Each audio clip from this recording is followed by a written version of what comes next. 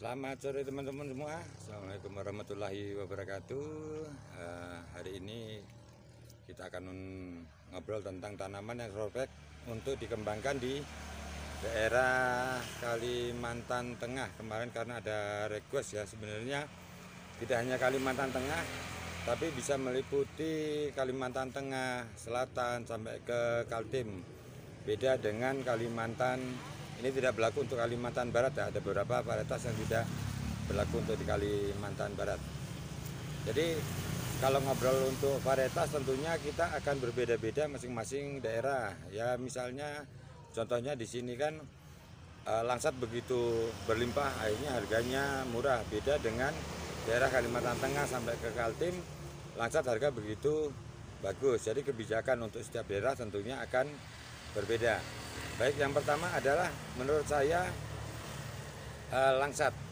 Kenapa langsat? Langsat itu eh, varietasnya benar-benar buahnya enak, manis. Kalau di Sumatera atau Jawa, Sumatera ya terutama disebutnya duku, duku Palembang yang terkenal itu. Tapi kalau di sini adalah langsat punggur.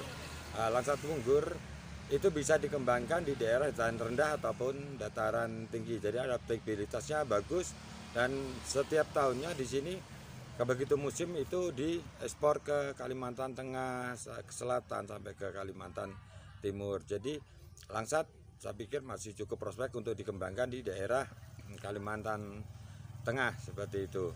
Eh, Rata-rata berbuahnya sih di umur lima tahunan ya kalau untuk langsat karena belum pernah saya lihat yang umur tiga tahun belum rata-rata di umur lima tahun. Untuk langsat produktivitasnya juga lumayan sayangnya dia masih tahunan. Baik yang kedua adalah mangga.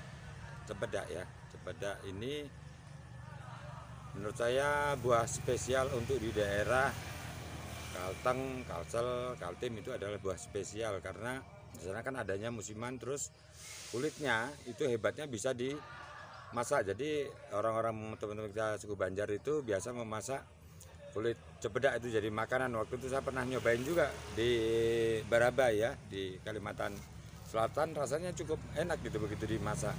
Jadi cepedak saya pikir itu prospek untuk dikembangkan di daerah Kalteng sampai ke Kaltim. Nah tapi sekarang kan ada namanya cepedak king. Seperti ini ya. Ini cepedak king. Kalau kita lihat daunnya dia seperti nangka tapi ada ada bulunya. Kelebihan cepedak king adalah buahnya lebat begitu banyak terus nggak ada musim berbuahnya sepanjang tahun dan ukurannya besar. Eh, mungkin sekitar hampir 8 kilo 10 kilo. Saya pernah beli paling kecil di sini harganya 30.000 satu kilonya. Bayangkan saya pernah milih paling kecil dapat yang 5 kilo 150.000 satunya itu. Banyak ditanam di sini daerah di Singkawang seperti itu. Kalau di eh, Kalimantan Barat dan buah itu saya pikir prospek untuk dikembangkan rata-rata berbuah pada umur 3 tahun. Yang ketiga ini secara umum durian ya. Durian ini eh, saya pikir tetap prospek untuk dikembangkan terutama varietas-varietas yang unggul seperti durian sangking yang jelas adaptabilitasnya sudah bagus terus ada OC ada bawor dan lain sebagainya. Durian jenis apa pun untuk daerah Kalimantan walaupun sini sentralnya termasuk di Kalimantan Barat tapi untuk durian-durian yang jenisnya unggul tetap saja laku dan mempunyai nilai ekonomi yang tinggi. Bayangkan kalau di Pontianak sendiri durian musangking per kilonya tembus 400 kemarin itu. Per kilonya bukan bukan per per buah ya. Kalau satu ini 2 kilo bisa 800 ribu itu harganya untuk durian bagaimanapun durian punya pangsa pasar yang besar dan bisa dinikmati oleh banyak orang terutama di Kalimantan seperti itu. Eh, setelah durian apalagi ya? Eh, kelengkeng lah. Kelengkeng pasti. Eh, kelengkeng kita masih 8.000 ton boleh cek data dari impor ya kan? Itu 8.000 ton per bulan dari satu importir saja. Kemarin kita pernah ngobrol-ngobrol. Artinya kebutuhan untuk kelengkeng ini masih cukup besar. Dan kelengkeng itu produktivitasnya lumayan tinggi. Eh, satu pohon kemarin yang umur 8 tahun pernah kita timbang sekitar 300-an 300-an kilo. Satu pohon 325 anggap aja 300 kalau harganya 25.000 saja per kilonya itu berarti kan eh, dapat 7 juta setengah. Kalau satu hektar jarak tanam 10 kali 10 100 pohon sudah 750 juta sekali panen gitu. Jadi eh, untuk kelengkeng kebutuhan kita masih cukup besar banyak digemari masyarakat tidak hanya untuk Kalteng tapi untuk semua daerah eh, layak untuk dikembangkan. Eh, terus jambu kristal pasti. Jambu kristal kebutuhannya untuk Kalteng masih besar.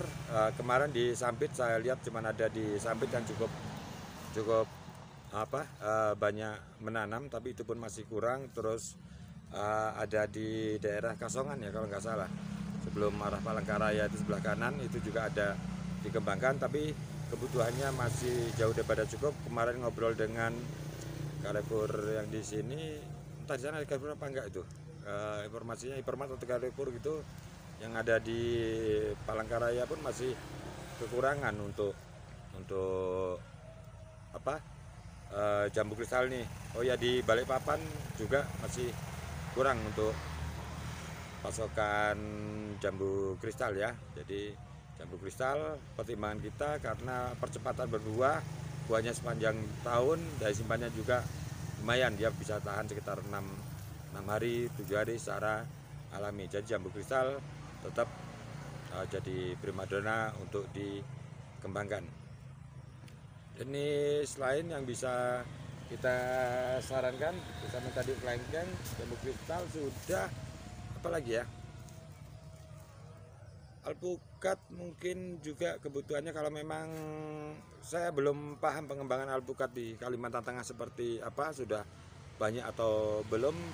Tapi kalau melihat segi produktivitas daya simpan dan lainnya alpukat layak untuk dikembangkan untuk di daerah Kalimantan Selatan sampai ke timur dan utara ya.